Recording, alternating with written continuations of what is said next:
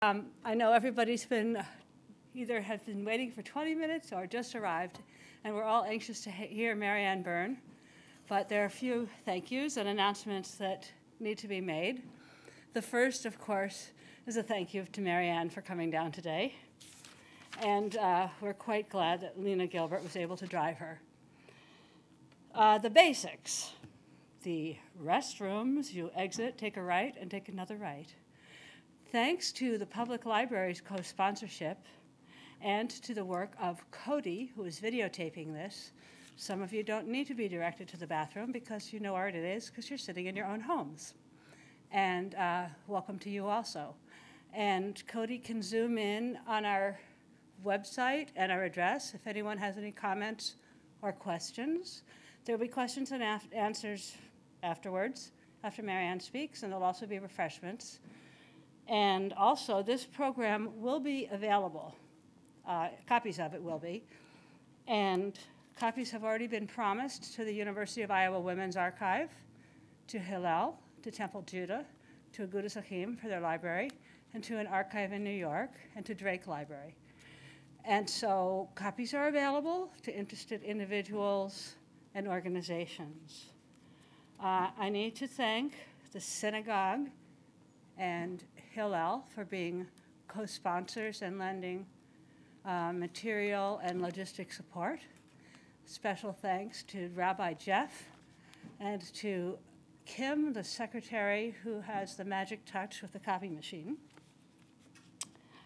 Uh, I, my husband asked me not to thank him because he said, I'm sitting here in the room, you thanked me enough. But I need to thank him and my cats. And if anyone has never organized anything, doesn't already know, if the people who live in the house are organizing a project, the dishes do pile up. So um, my home life deserves a lot of thanks for putting up with the chaos that ensues while one is trying to be organized about an event. I also have to thank someone who isn't here today, which is, who is Professor Charles Vernoff, who introduced me to Marianne and her husband quite a few years ago. And he said, There are some people I'd like you to meet. There's a concert. Why don't you come over for dinner? And I confess, I knew he was making tuna noodle casserole and that I was a vegetarian and we were having a really busy day. So we got there just at the very end of the meal in time to walk to the concert, and a little internal alarm went off that went ding, ding, ding. These are really important people. I wish I had gotten here sooner. And many years have gone by, and I'd said hello to Marianne many times at classical music concerts and at concerts of her son. And last year, I know this day, she was at her daughter Jennifer's congregation. Jennifer's a cantor. And uh, her son escorted her there, and that kind of set off the idea oh, that's 69 years. Next year's a milestone, and I've got an idea for an event, and Marianne wouldn't have to schlep on an airplane. So, uh, schlep is Yiddish for. Anyway, if we say any Jewish words that you're not Jewish and don't understand, please don't hesitate to ask. The Jewish community does not own Kristallnacht, and there will be some Jewish references in the talk and in my introduction, but don't let that alienate you. I was thinking about history and about 70 years. I confess I haven't been on this planet for 70 years. And I was thinking about last Tuesday and about our president elect's acceptance speech and how he mentioned a 106 year old woman and talked about all the things she's seen. Then I couldn't help but think about being in junior high and thinking, history seems boring. I think they should teach it backwards. Talk about where we are and then look back so understand how it connects to us. And 70 years is a long time. It, it's a lifetime for some people, but it's also the blink of an eye. And being a early baby boomer, Tuesday night, seeing people celebrating in Grant Park, I couldn't help but think about 1968 when in that same park people were getting beaten up and tear gassed and thinking, well, that's 40 years. That went by in the blink of an eye. And how did 38 look from 68? It was closer than 68 is from now. And we all know, however old we are, that time flies. So we're really uh, grateful to be here today. Also, as a boomer, sometimes I get terrified that my generation, our generation, will be the oldest people on earth. And I'm very happy that there are, is a generation or two older than us. And we are all witnesses today as we hear Marianne tell her story. We are witnesses. So no one can say that didn't happen because we can say in 70 years, if we're still alive, or in 30 years, or whenever we have a chance. No, I met someone who told me this story, and I believe her. And I had coffee with her, and it was Sunday afternoon, and I was in Iowa City, and it was the exact day plus 70 years to, to things that happened to her. Um, I thanked Charles, and I guess I have to thank Audrey for introducing me to Charles. And I need to thank my mother for all the bedtime stories and for instilling in me an absolute love of stories. You might wonder what Any Road Productions is, and it's really something I made up with my husband, but um, this library has morphed, but this meeting room A has been here, and I, I feel like I've been standing in this room doing different programming for many, many decades, which is um, a peculiar avocation, but such, such it is. That's what I'm called to do. Now, we're about to commence the program, and before Marianne speaks, we are going to do something that is customary in the Jewish community and invite those who are not Jewish to stretch your mind and join us. We uh, tend to light candles memorializing deaths more than birthday candles, just one of those things. And we have some memorial candles here and some people have been invited to come up and light candles, just a symbolic remembrance of people who died. So if you're one of those people, Marianne will light the first candle, and the rabbi and some other people who we've talked with are here, and we have uh, actual box matches, very low tech. So uh, could you please come on up and stand behind the table? And um, right now the cameras are on me, but he'll be switching over to the table, and because Marianne is shorter than I am, she'll be over there so we could see her. You can see right now on the projector as people are coming up, I'll tell you. Um, that is the synagogue that was destroyed 70 years ago today. So um, the rabbi will explain the prayer, but basically, what we are saying is as long as we live, they too will live. For they will live in us as long as we remember them. And we, in our lives, are carrying the memories of somebody else's memory.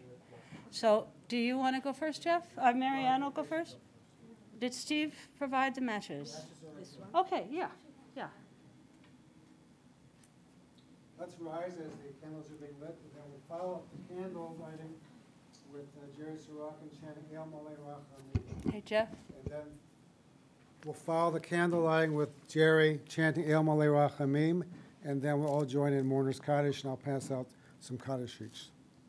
And as we're mourning, we're not just talking about today, but as a lot of the PR said, um, today really is, or the, the, the night of broken glass was the beginning of of the destruction of the Jewish community and the little prelude to World War II, even though, of course, we know that Germany invaded Poland in 39, but this was the prelude. So, ladies first.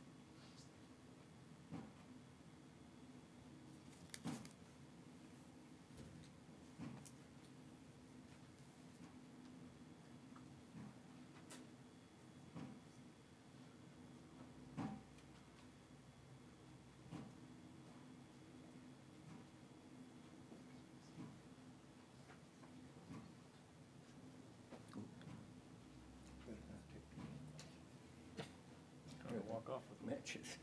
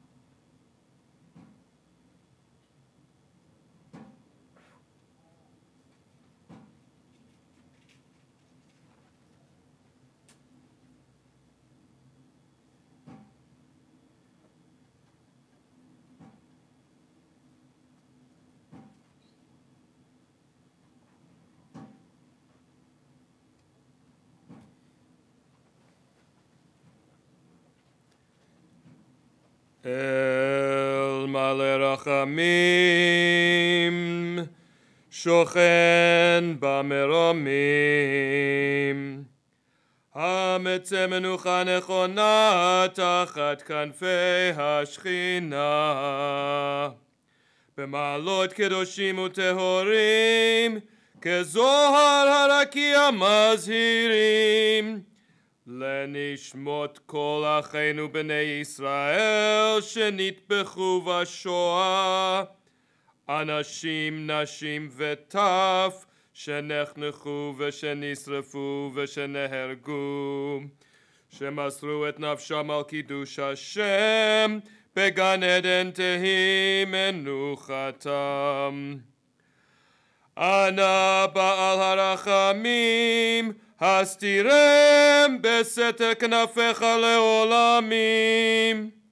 וצרור בצרור החיים את נשמותיהם, אדוני הוא נחלתם, וינוחו בשלום על משכבותיהם, ונאמר אמן.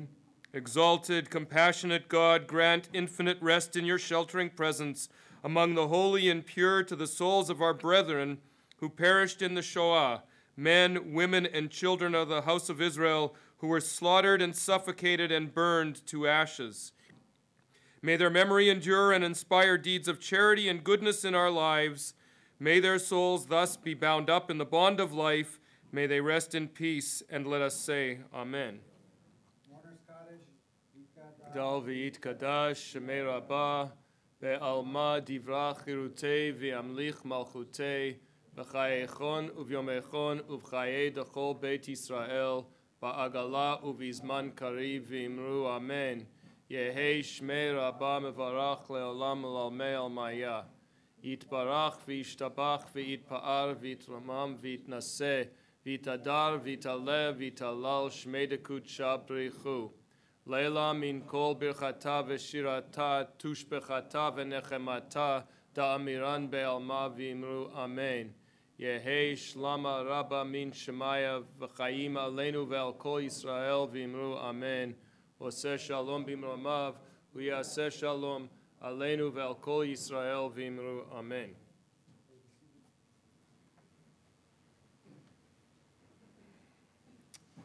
Thank you, Rabbi Jeff and Jerry. Now, please join me in extending a warm welcome to Mary Ann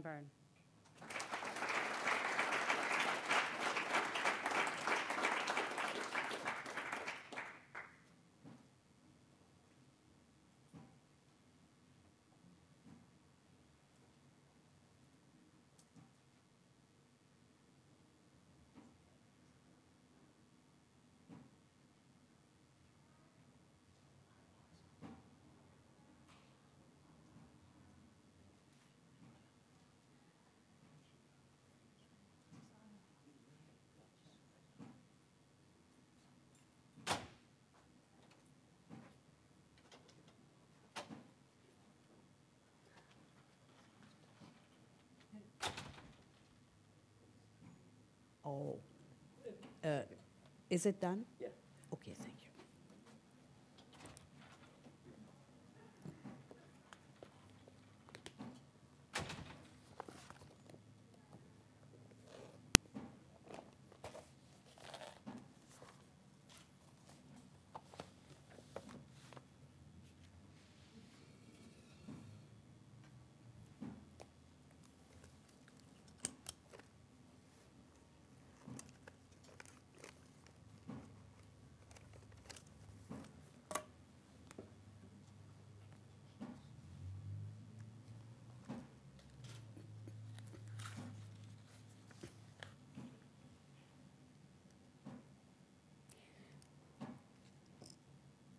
I am very glad and grateful to have this opportunity to talk about the so called Kristallnacht or Crystal Night of November 1938.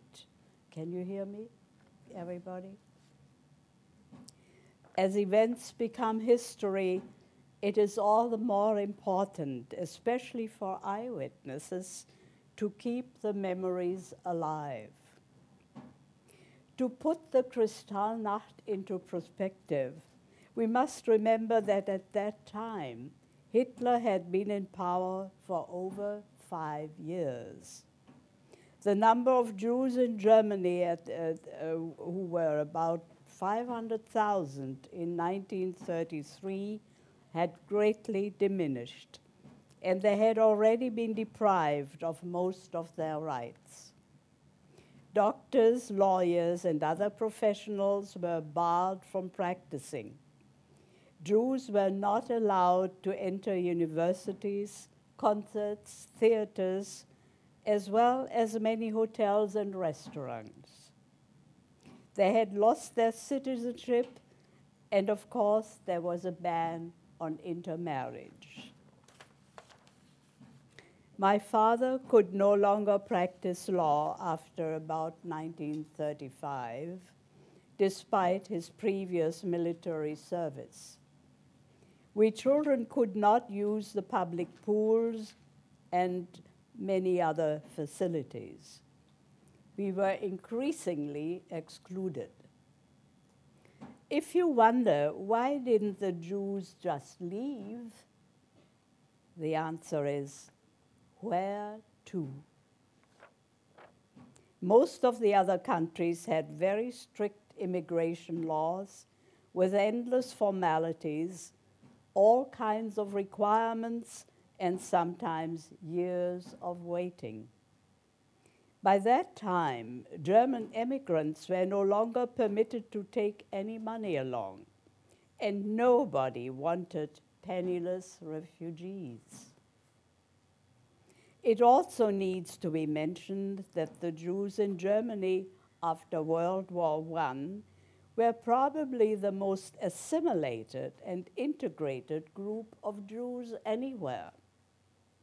They had, of course, fought in the war, and many, including my father, received an Iron Cross and other honors. My father lived in the same house in which I was born some 50 years later. And his family had lived in the town of Bielefeld in the province of Westphalia or the surrounding area for several hundred years. When the synagogue was built and dedicated in 1905, my father's uncle was the president of the congregation, and my father followed him after World War I. the Jews became a very active part of the new democratic state until the arrival of Hitler changed everything. And the Jews once again were the convenient scapegoats for anything negative. The events of the Kristallnacht were triggered by the assassination only a few days earlier of a German diplomat in Paris, uh, uh, who uh, in Paris by a young Polish Jew, desperate because his parents had just been deported from Germany with thousands of other Polish Jews. This shooting, at least, was the official explanation for the spontaneous eruption of anger, as the Kristallnacht was called. In fact, the so called spontaneous act was a well planned, thoroughly organized government action against the Jews, carried out simultaneously in every town and, every, and village throughout Germany and Austria by stormtroopers and other Nazi personnel. During the night of November from November 9th to 10th, 1938. Synagogues everywhere were burned down, Jewish businesses and many homes shattered and looted, and thousands of Jewish men arrested and taken to concentration camps. The Jews were also forced to pay a huge collective penalty and to hand over their jewelry and other valuables. Also, from that moment on, Jewish children were no longer allowed to attend public schools. The Kristallnacht was a watershed event for the Jews still left in Germany. It shattered whatever illusions any of them might have had about survival in Nazi Germany, and people desperately tried to escape. My sister and I were able to leave for England on a Kindertransport six months later, in May of 39, just three months before the war started. We were luckier than most of the other children our parents were able to follow us shortly afterwards. The best part about leaving Germany was the feeling of freedom as soon as you crossed the border. All of a sudden, we did not feel like crawling into the ground to become invisible, but we were as good as everybody else. Well, we were still designated as friendly aliens, with a nightly curfew. Even the bombing of London during the war was easier to bear because it affected everybody the same way. We could be air raid wardens or be on fire watch duty like everybody else. On that fateful night of Wednesday, November 9th, I had gone to our synagogue to practice the organ. When I had finished, I took my key, locked the door, and went home. Early the next morning, our live in housekeeper Esther knocked on my door. Marianne, she said, the synagogue, die Synagoge brennt. The synagogue is burning. I couldn't believe it having only just been there the night before. As I walked to school, I saw it right away. Sure enough, the synagogue was in flames, with crowds watching. The firemen sprayed water, but only on the surrounding buildings. Soon only charred ruins remained all that was left of our beautiful synagogue is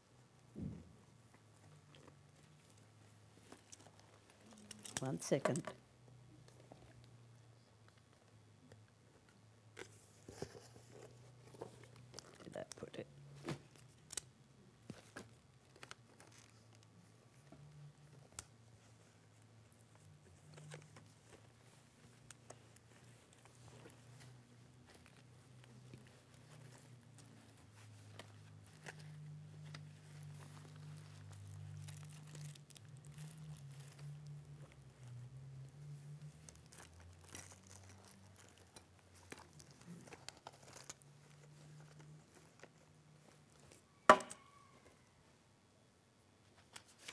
Oh, I'm sorry.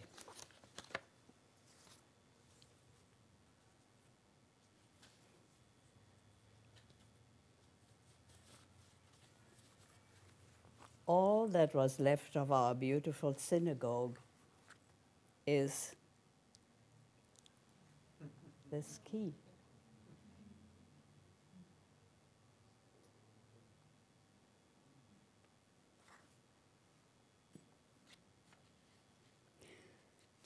I would like to end with a poem that I wrote uh, some time ago on a trip through Germany.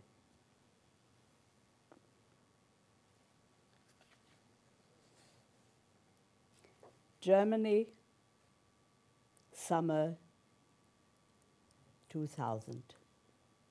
I think it was actually a little earlier than that. Beautiful countryside, heather in bloom, emerald fields, lush, idyllic, shimmering birches, oak trees and elms, so calm and peaceful, like paintings by Gainsborough, Constable, Turner, and then a sign Bergen-Belsen. All the horrors come surging back visions of cattle cars, people in rags, shaven heads, hunger and death, despair beyond pity and tears. Unanswered questions how, why?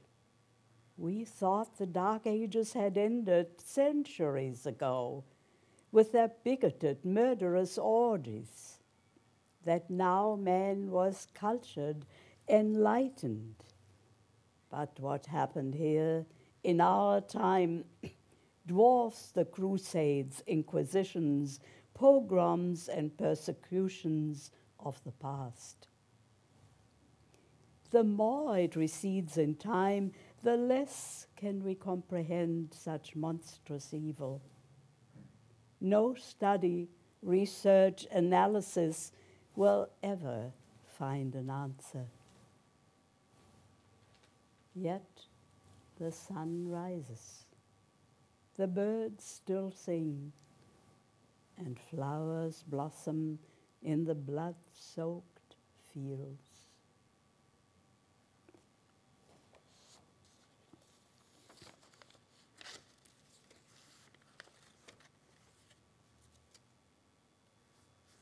Thank you very much.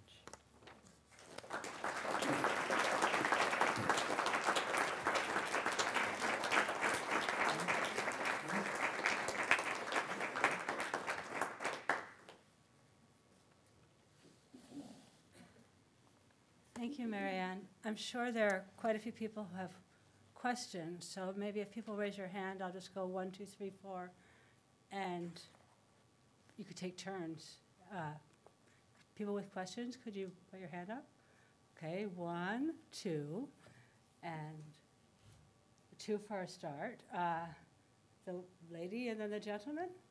Um, Have you written more, uh, you're, you're very eloquent, and have you written at more at length about your experiences either growing up? I've know, written since- some other uh, uh, recounts, accounts about it, yes. And are And they- in, in, at various times. you know. they, is it possible to read them, or, I'm sorry? is it possible to read them, or is it just, Well, uh, I, it's not really anything very uh, consecutive and, you know, uh, it's not a, a book or, or a lengthy story so far. Right. Uh, Could, could you give us a chronology of what happened when and how you became aware of it? Like even before Hitler, as he was coming to power, how you got the first awareness of what At what wrong? time? At when? At Well, what? I mean, the early, the earliest you can remember, going back to the beginning, how you, how people first became aware of things that were wrong with Hitler and how the news got worse and worse. of in, in Germany. Yeah, like because, because I, I've known families that, you know, got out of there in nineteen thirty-three as soon as it came. Well, um, it was, of course, uh, uh, developing uh, more and more, and um, uh, it um, uh, it would uh, encroach us constantly uh, more, you know, in in time, and uh, you could. After some time you, you could you tried however much you tried to ignore it you couldn't because it uh, it, uh, it entered your life. And and you just uh, had to pay attention to it. And and of course there also there were um, all kinds of new rules and regulations that were being issued uh, um, affecting the Jews, things that uh, they could no longer do, or uh, so it it got uh, worse and worse as time went on, and and more and more rules and laws and regulations were being issued. Can you tell us what happened to your uncle's family? I'm sorry. Can you tell us what happened to your uncle's family? Well, my parents. Um, your extended family. I think you Oh, um, uncle was the president well. My parents, of course, were fortunate they they um, uh, got out. Um, by the way, I didn't even mention um, one uh, the fact that my father, uh, after he could no longer practice law, he um, uh, worked uh, to help. Uh, Jews uh, get uh, make their way out, make their way elsewhere, and he um, made a practice of that. He um, he was working to um, assist people any way he could, and uh, did that in his in his office, and um, and um, uh, uh, people would come and consult him, and he would know all the rules and regulations and tell them and help them any way possible to uh, uh, arrange leaving the country, which was not an easy thing to do, and it was time consuming and everything. By the way, I should also tell you exactly what happened on the evening of uh, um, uh, um, of the date that um, uh, of the Kristallnacht, um, as I as I explained, um, I um, uh, I wanted to. Um, um, I'm sorry. Um, did I want to tell you? Um, yes, I I went to the. I think I, I, I did mention that I went to the to the temple to the synagogue and uh, and uh, stayed for an hour or so to practice the organ, and then I took the key, locked up, and uh, went home. And of course, uh, I don't know if anybody had been waiting for me already to leave, but they uh, uh, it didn't take them very long to uh, get in there and did what they had planned to do. And and I must have been the last person in that building. It was a rather eerie feeling. Our video person has given me a portable mic so that the questions can be heard. So I'm going to run around the room to the people with their hands up and pretend I'm on one of those Q&A people. So bear with me. How uh, how old and what grade and school were, did you go to? Yeah, when the crystal night happened. I'm sorry. What grade were you in? What grade in school? Uh, 10th, I believe. 10th grade? I, I, was the, I was 16 at the time. I think I saw a couple of hands in the neighborhood. Do you have any recollection of being a child and asking your parents why this was happening? I'm sorry, I can't hear you. Do you have any recollection of being a child and asking your parents why this was happening and how they attempted to answer you? Do you understand the question? Uh, no, I. Did you, did you ask your parents, yeah. why is all this happening? Oh, And- no. And, and how did they try to explain it to you? Or it was pretty clear to you at your age? It already? was, it was more than clear to me. I had been uh, living with this already for years, and I was familiar with it. So it was nothing, nothing new or surprising. The, the mic is back here, but I can see your hand, so. uh, Was the first indication that you, that anything was wrong as far as Kristallnacht when you returned and saw the, or was told that the synagogue was burning, or were Oh, there other much events? earlier, much, much lo- before that. No, no, I, I meant that, on Yeah. that night. Yeah. Did, were other things going on in town? Were windows being broken out of Jewish businesses, or anything Oh, like that? yes. Yes. Yes. So you knew about? Oh, what sure. Yes, of course. There- Was your family home or relatives' homes damaged, or people injured? At that time? Yeah. Uh, no, actually not. I'm glad. Ours was not, but uh, um, many others were. Businesses were looted and and uh, and uh, houses were damaged and uh, um, uh, there were I mean, all kinds of things were, were happening at that time, and people were simply. Uh, dragged from their homes and uh, and sent to uh, concentration camps and and then if they were lucky they came back after several months you know yeah Um, of course, you don't have to answer this if you don't want to, but I was wondering, you apparently went back to Bielefeld some years ago. Did you go to the site where it happened and maybe to your uh, house where you lived before then?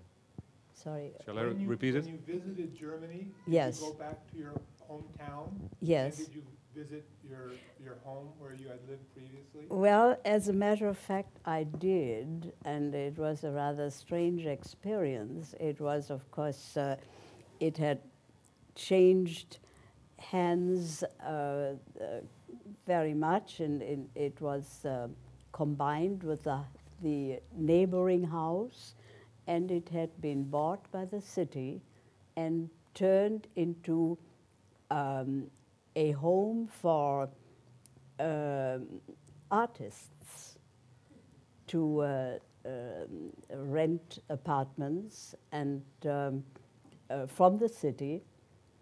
And there were, oh, perhaps uh, 20 or 25 uh, different groups of people living in there, uh, uh, groups of artists.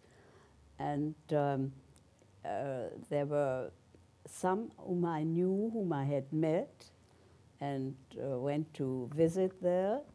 So I did get to see my old house again, our old house again.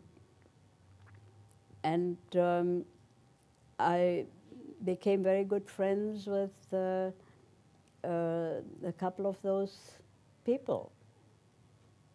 And altogether, I have been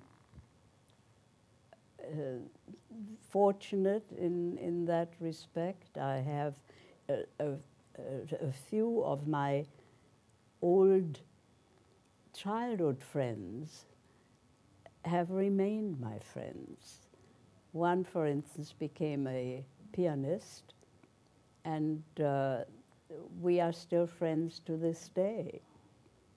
And have seen each other again a number of times. She's come and visited me here, and I've been seeing her back there.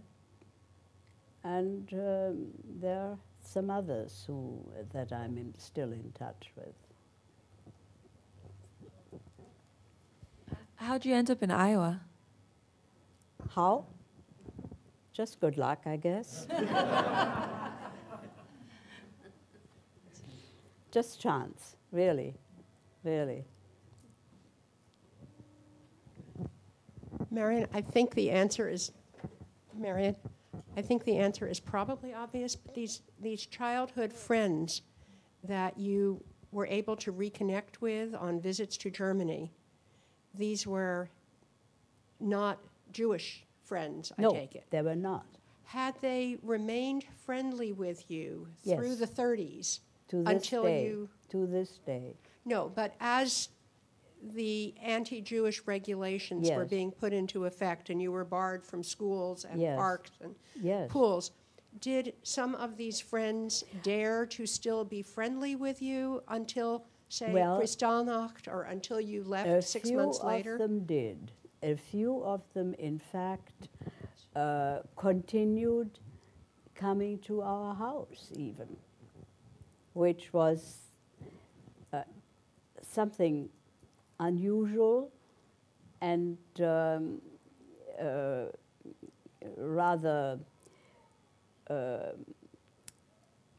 exceptional. I mean, they, they um, uh, it was an, an act of, of courage, really, because they risked, they risked, um, uh, if, if somebody had seen that or had uh, reported on them, it could have uh, had bad consequences.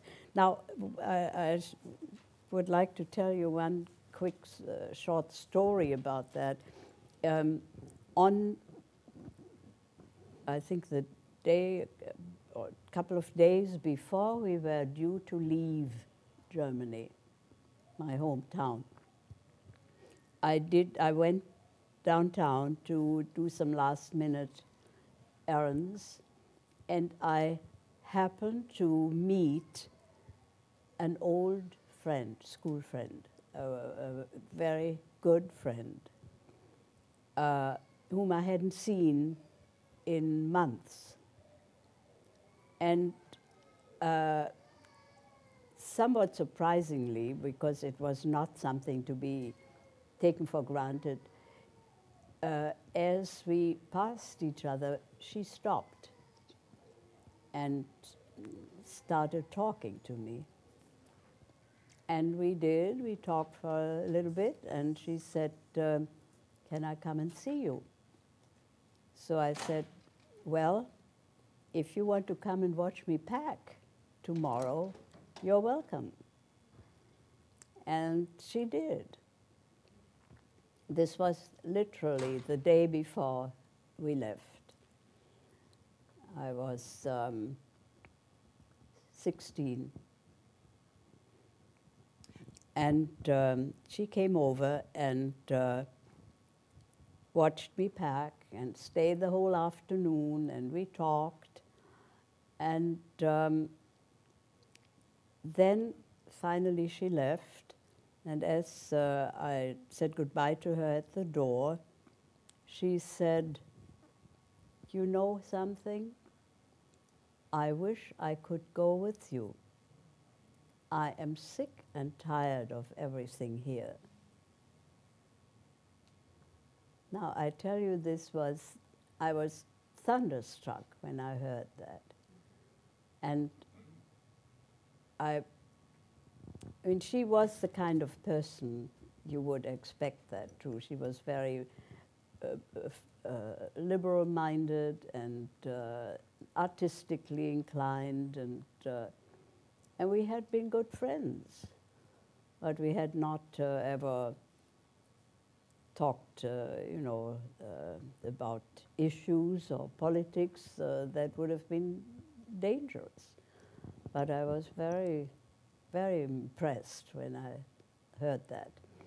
And then, of course, the war uh, started very shortly after that, and uh, we were no longer in touch, couldn't be. But then we continued or, or picked up again after the war and again renewed our friendship and met again. And years later, I asked her once, Tell me, did you tell your parents anything uh, about our meeting at the time? And she hesitated for a moment and then she said, I told my mom. So I said, Well, what did she say? She said, Don't tell dad. Don't tell dad. so, you know, I could, uh, uh, that said it all, and especially since her father was a, a teacher, school teacher, so he could certainly not take chances. But she herself always was and remained a very broad minded, uh, generous person and friend. And we've been friends literally to the very last day. She, as it happens, she died uh, just a couple of weeks ago. And we were in touch. I, I, um, I've been to visit her, she's been here, and we've been talking to each other uh, really till the last day. Marianne, um, when did you become aware that this night of broken glass was not just happening in your town, but was all over Germany? I mean, now we have so much media, we find things out so fast. How was it then for you to find out that it was bigger than just your community? the, the, because it, it there was no question about it. There, there were, there were, uh, it, there were, everything was um, ruled by, by uh, um, laws, you know, and, and rules and everything. There was no escape from it. And the only way you could uh, um, occasionally try and ignore it was by uh, such as uh, acts like that, where you simply paid no attention and uh, and defied the the rules, you know. I think I saw a couple of hands. Okay, I saw your hand first. At the, uh, on the night of Kristallnacht, did you actually feel fear when you went to the synagogue or in your regular not daily when I life? went there. No, no, I, I, not really, because there was no way I could ever have uh, foreseen anything of the kind. Just in your general daily life? No. When you went out? No, No. no, I did not. No, Good. and I didn't even, at that point, I had no idea that uh, we would no longer go to school the next day, which we, you know, obviously did not. But at, uh, on that particular day, earlier, we were still at school. And I mean, as normally as it, it had been, obviously there were there were uh, strict limits to many things. We there were many things we um, many uh, uh, courses we uh, could not participate in. So we only uh, we were restricted to certain uh, parts only. No.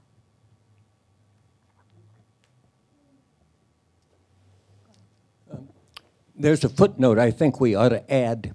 Um, the Quakers in Great Britain and the other groups that saved 10,000 Jewish children from all over Europe asked America to also take in some Jewish children, but the Roosevelt administration refused.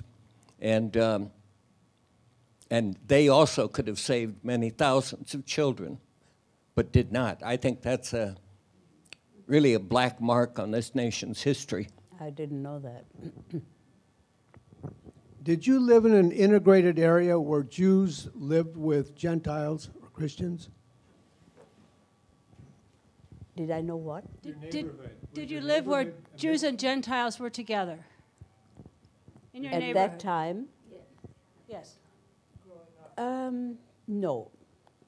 No, I mean, the, it was no, uh, there were certain areas, certain towns which were, had, uh, I don't know how to put that, had uh, less of a bad reputation, if you will, uh, from our point of view, than others.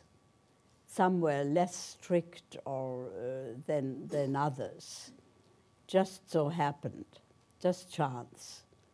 Uh, there was nothing, uh, uh, nothing um, that was had been ruled or decreed or, or um, that was different from, from others. It just so happened that people were more, uh, were less prejudiced perhaps than, But than your- in other areas. But in your immediate neighborhood, was your immediate neighborhood predominantly a Jewish neighborhood, or were there, There was no such thing. okay, but there were? In, in our town, uh, there was no Jewish neighborhood, So- no. so In, in your neighborhood, there were both Jews and Gentiles together Yes, in your? yes. Up to that time, they, they lived where they had always lived. Um, how did you feel when you saw the synagogue burning down? Um, how did you feel when you saw the synagogue li- um, burning down? When you saw the synagogue burning? Yeah. How did you feel about it? I don't think there's any way to explain that. Uh, I, it was a. It's something beyond explanation, beyond. Uh, uh, it, it was a the uh, the worst kind of shock one imaginable. Something you could not understand, could not explain. Uh, and right away, of course, we didn't even know uh, what had brought that about, that it was, an, that it, it was an organized uh, action all over, although it, uh, it was to be suspected, and um that it was much more far-reaching than it seemed at, the, at, at first. I thought I saw a hand on the side before. This was this was a time of great fear. Um, was the attitude at the time? Did the people fear the government? Obviously, the Jewish community feared the government. Did the general people fear the government, or did they feel like the government was saving them from something more fearful?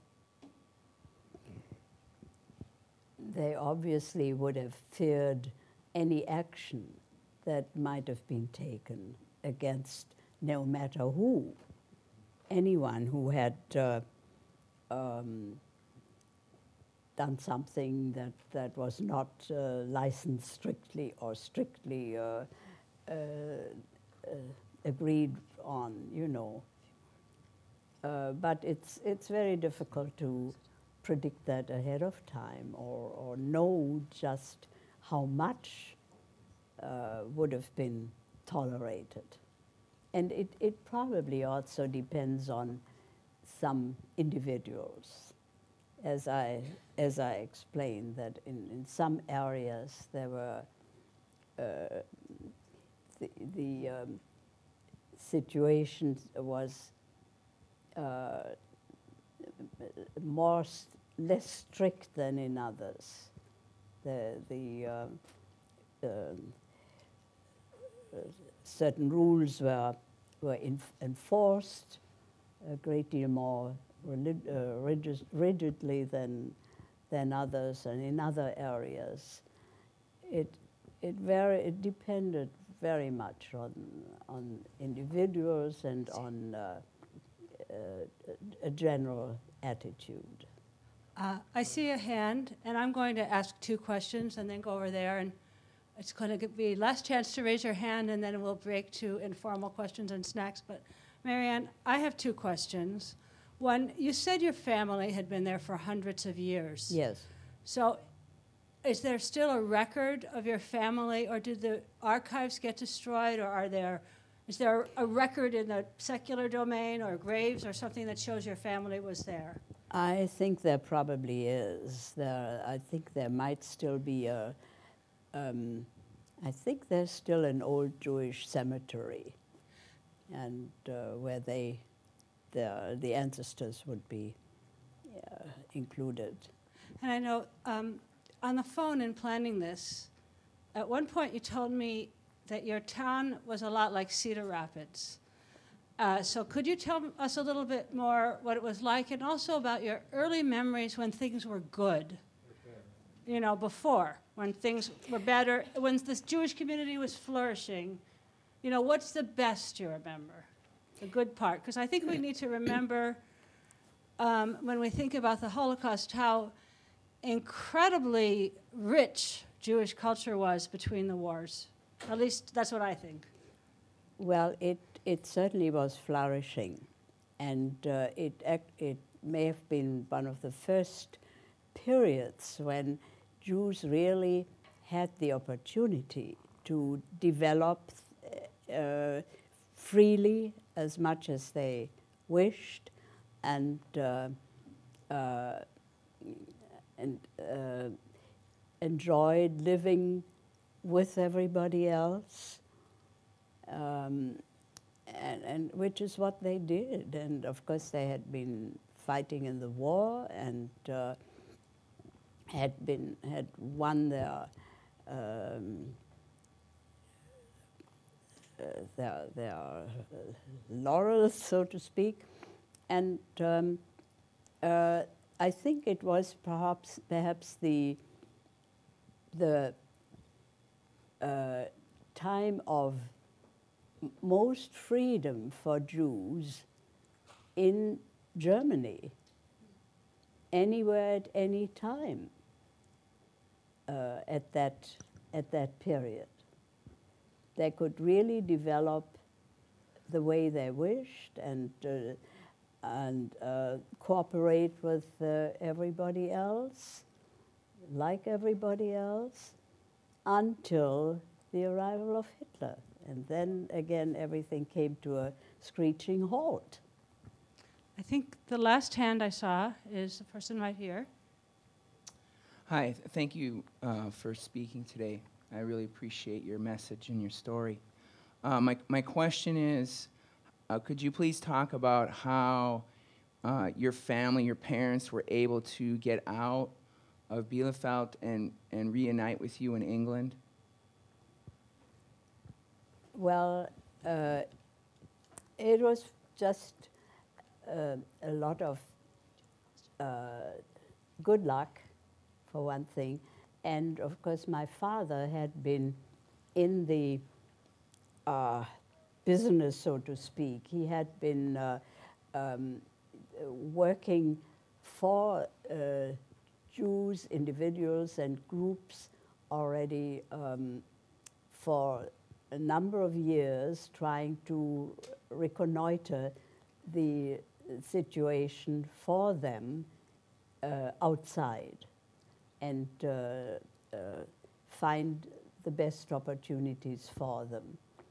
And um, so, I mean, that, that went into all directions, and it was a, a difficult thing to do, but he, he had been doing a, a lot of that for years. He started doing that in, uh, well, uh, around, as I mentioned, about 35. And um, uh, when the need became more and more urgent for everybody, especially for young people, and um, so he had been looking around and uh, in, in many ways, and, uh, and of course, it finally benefited himself and his own family to uh, uh, follow that up and do as much as, as possible to find possibilities. I think everyone here would agree that Marianne uh, has earned a cup of tea. And we have the room till 5. And I'd like to invite everyone who didn't get to ask their question or who wants to visit to please stick around. There are refreshments or there are things to look at. And I would like to ask or beg Marianne, if she never finishes the book, to please let the unfinished bits of it remain in an archive. Um, the Iowa Women's Archive is very interested in materials of all women who've been in Iowa, and there are Jewish archives in New York. And I know, um, I confess, I am a fan, besides of Marianne, of her wonderful son. And when I heard that Marianne was moving, my little instinct went off, and I went to see Dan, and I said, I had a feeling you'd be sitting here in this house overwhelmed. And he said, I, I am. And I said, I had a feeling you'd be sitting with all these boxes, not knowing what to do. And he said, You're right. And I said, I just have to tell you my four favorite words in the English language don't throw anything away. and anyone who's visited my home will understand this sentiment. But I really think a lot of people, Marianne especially, uh, has a paper trail that is very important. And since I mentioned her son, um, he is Dan Bern. He's a singer, songwriter, and an artist who had an art opening. And to me, his music and his lyrics embody the voice of the next generation. He wrote a song to his sister that has an incredible line you explained me to our parents English wasn't their first language. They spoke German, hated Germans, confusing times. So I'd invite you to um, go to our website. There's a link to more information about Marianne's town, besides this lovely photograph that my dearly beloved found of the synagogue, which we can see is quite beautiful. There's information about the town, so you can, if you're not going to Germany, you can still visit it. And uh, you can also visit, go to danbern.com and see what Marianne's son is up to. And hope to see more of all of the Bern family as the years go by. It's been a pleasure having Marianne here, and um, I'm sure we're all very grateful. Thank you, and we all thank you.